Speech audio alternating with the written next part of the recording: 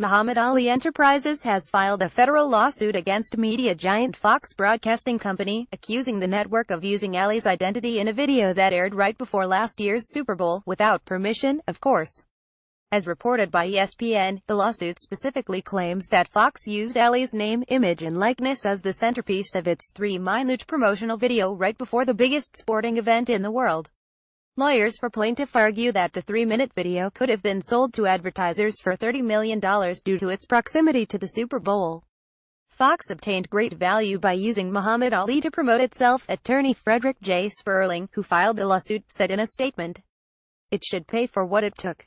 Additionally the lawsuit claims that the network's video was much more than a simple tribute to the late, great fighter, and that it falsely implies that Muhammad Ali Enterprises endorsed the Fox network.